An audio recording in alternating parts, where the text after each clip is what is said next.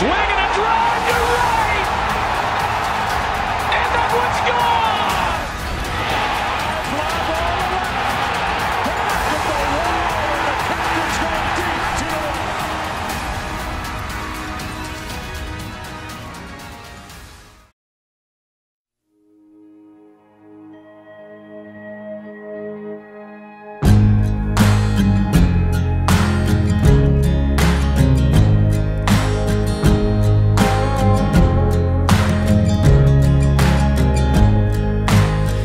Much of my mother has my mother left in me?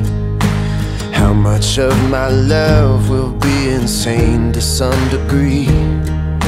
And what about this feeling that I'm never good enough? Will it wash out in the water or is it always in the blood?